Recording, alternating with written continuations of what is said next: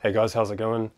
Today we've got a Z20 LEH block, long block. It's the uh, Z20 LEH. See along there. And this one's had a head gasket fail. Um, it's quite it's quite common on these motors actually. It's like a pretty because I get a lot of abuse in the performance motor etc. And you can see down here, someone's gone to town on this with a silicon on it. It's like heavy, heavy silicon all the way along the lower sump and upper sump. So yeah, yeah, madness. And I've just I've got it timed up, so the timing marks are all timed up. Take the belt off, take the cover off, plugs out, and then we'll have a look and see. Hopefully, if we can see uh, why the head gaskets failed. If there's anything obvious, might be interesting. I don't know. I thought I'd make a video anyway. You never know what you might find. The oil lines on this one actually look pretty good. No leaks. It's quite unusual. So yeah, I'll just uh, put the camera down and yeah. So I've got all the plugs loose, so take them out.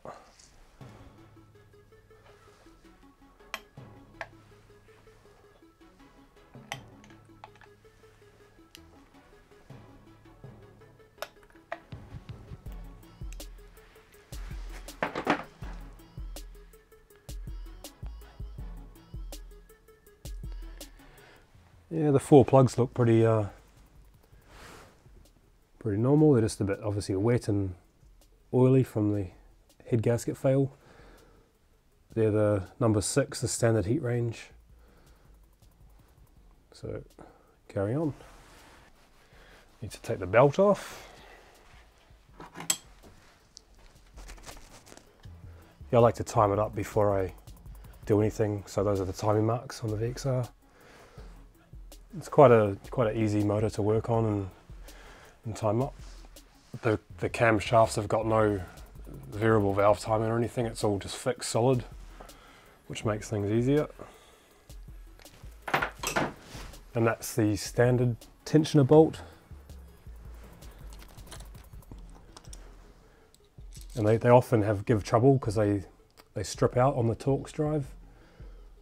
So you can get like an upgraded one, which is just like a normal hex socket.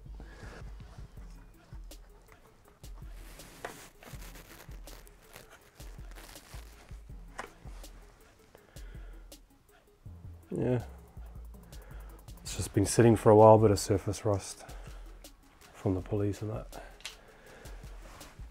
And these, the um, exhaust side is a steel tensioner or idler and the inlet side is a plastic one, but you can get an upgrade where you run basically a steel one on each side because the plastic one actually seems to um, wear out quite quick, quicker than the other. So yeah, common upgrade is to run the two steel wheels, two, two steel idlers on each side. So now we'll just take the cam cover off. It's got Allen screw bolts, which are aftermarket. They're not standard. I think someone's painted it white before as well.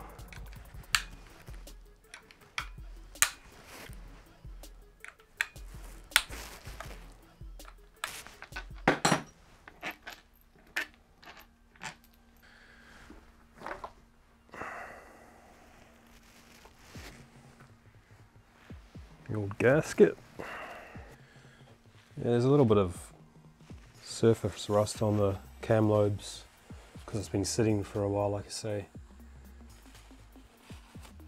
Should be able to clean them up though if they just if it wipes off, hopefully. Yeah, they're the standard cams. So now we'll just take the camshafts off. Oh yeah, these these little these little oil jets here, one, two, they block up quite easily. So if you while you're taking, if you take your cams out or your cam cover off, it's a good time to just take these out and just make sure they're clean. And um, use a, a thin wire or something to poke them out because they, they, they're like a really tiny hole in there. And obviously that supplies a bit of oil to the inlet and then your exhaust one's down there. Just do them, do them all evenly because some of the lobes are still under tension, especially the ones that are facing down, they're still pushing on the springs. So you just want to do a quarter of a turn each, evenly.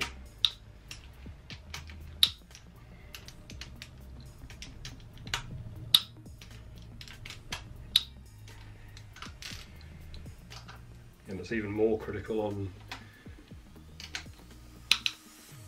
bigger engines like a six cylinder or something like that where the camshafts are really long because you can tension them un unevenly or snap one or bend something. Just don't want that. The caps are all numbered. So there's two, three, four, five, and just keep them all together into their respective um, location.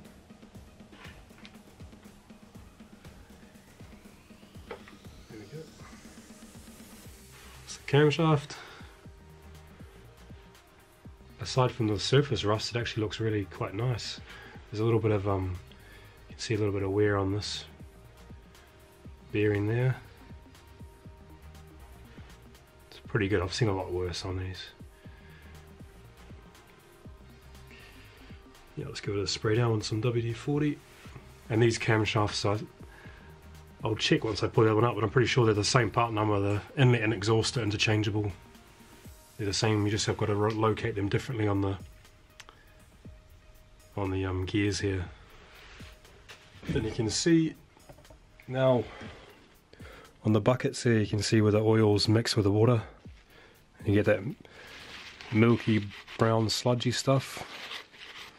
So that's the cams out. I'm just going to take the buckets out.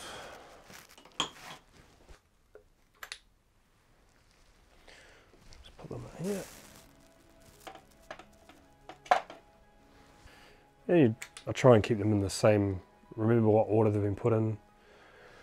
It helps to put things back where they were if you're going to reuse them. But I mean, again, it's not, it's just, it's, it's best practice, but you don't have to. Oh, that one was a, a good one. It's actually clear. It's a good sign. The, la the last motor I done, the last Z20 I did, uh, had these were blocked and the, the exhaust camshaft had picked up. So, yeah. And they just get torqued up to like seven newton meters. They only get nipped up quite quite lightly, not too tight. And with the head bolts, I just take them, start from the outside in, just crack them off, it's the opposite of when you put, put torque it down, it's from the inside out normally in a crisscross. We're going to work outside in, crisscross, just cracking them off.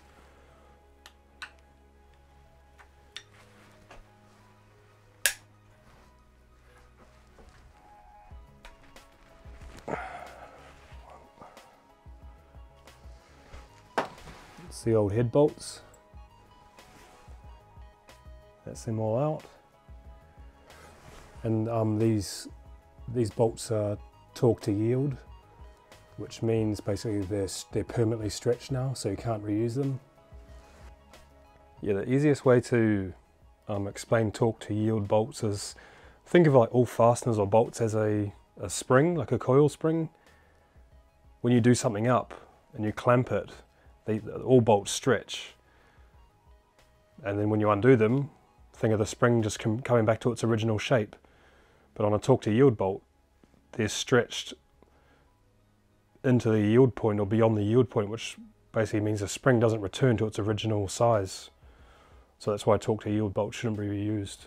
But normal bolts can be, but yeah. The, and the way to tell, normally the way to tell a torque to yield bolt is it will have a torque setting plus a degree.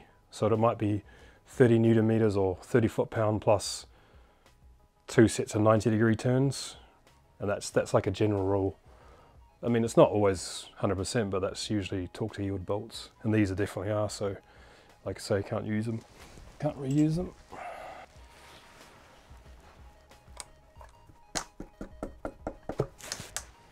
Oh, it's pretty, pretty loose on the dowels.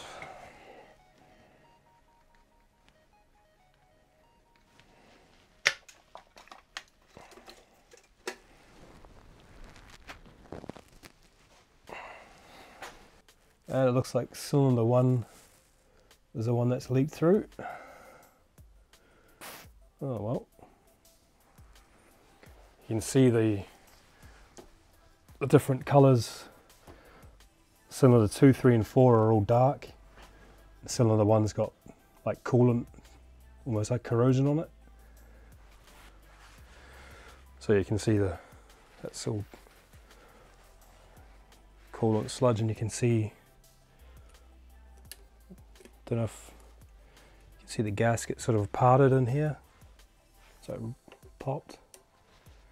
And those are the coolant passages or the, the steam pockets out of the gasket and yeah, it's just leaked through into there.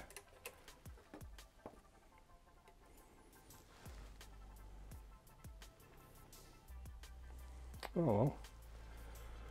Pistons actually look really good. No no detonation marks and that's the multi-layer steel gasket, MLS gasket.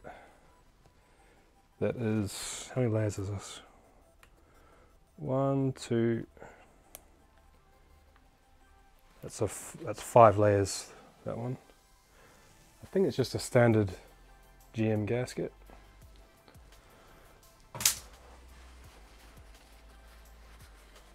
So yeah. Yeah, I'm really surprised how good the pistons look. Not a single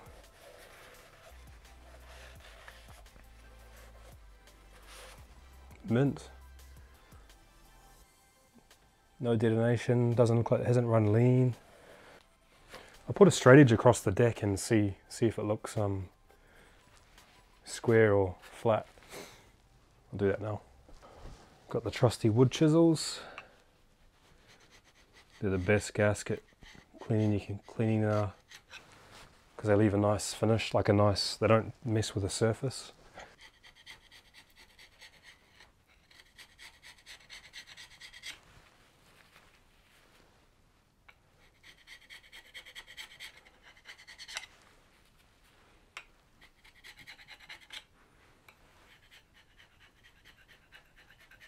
Okay guys, just um, clean the deck surface off there.